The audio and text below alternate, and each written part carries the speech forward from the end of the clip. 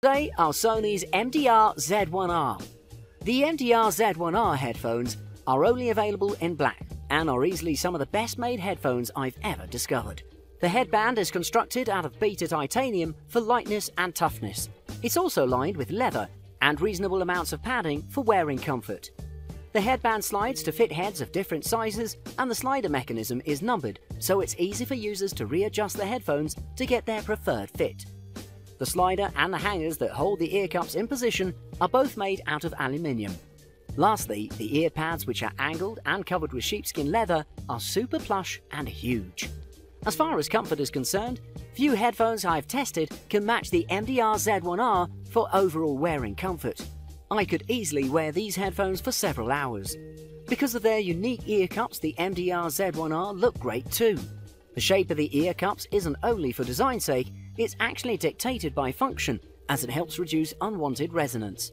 Inside, there's an additional piece of acoustic filter made out of Canadian softwood fibres that additionally absorb and reduce the resonance.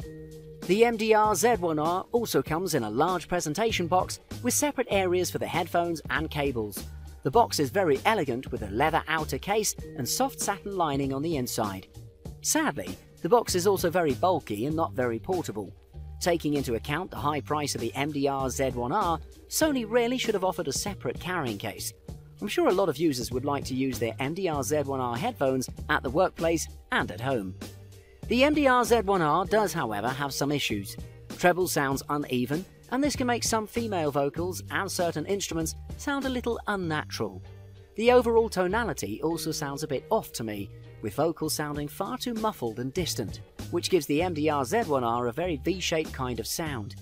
If you prefer dance, trance, rock and pop music more than oldies, acoustic or classical music, Sony's new MDR Z1R would be right up your alley.